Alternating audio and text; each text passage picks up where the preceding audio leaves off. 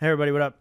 Um, do you ever get the feeling like coding is like being in a relationship and and sometimes maybe a toxic relationship in the sense that like when things are going really well, it, it feels like everything's great, right? And then the times that are really bad can be really bad.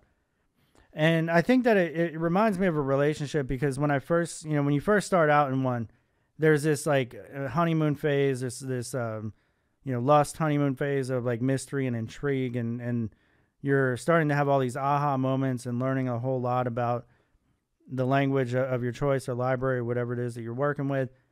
And it really like i feel like opens up a world of possibilities.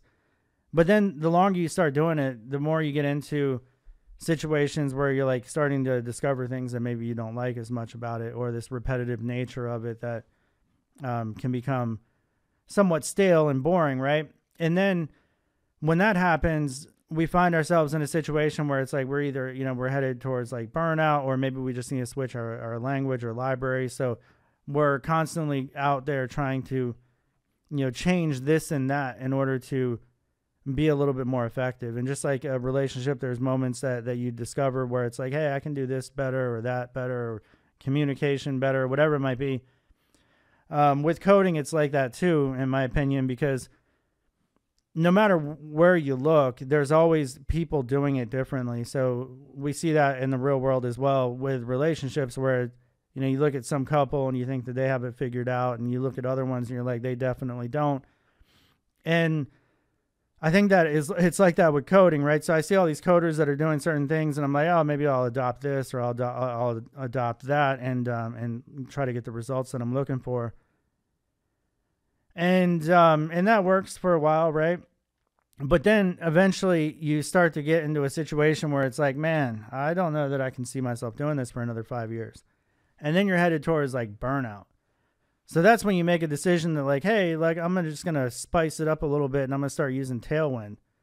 But then you might end up looking back and having regrets like, God damn, why did I use Tailwind, right? I spent three years on a side project that didn't get anywhere and I used all this like new technology that just wasn't necessary and added a bunch of like tech debt. And relationships i think can be like that where you look back and you're like man i shouldn't have done this or i shouldn't have said that and coding can be the same way.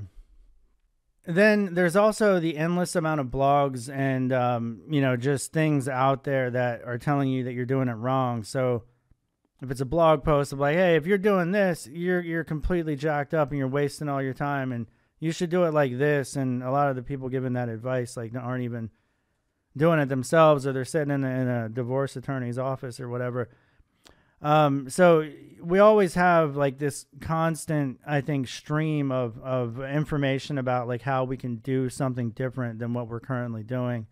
Then there's also the codependency phase where it's um, a situation where you're like, man, I, I, I don't know that I could do this for another five years, but at the same time, I don't know that there's anything else I can do either, and I can't I can't really see myself in either one of those positions. So I think for those that have been in that situation, they know what I'm talking about.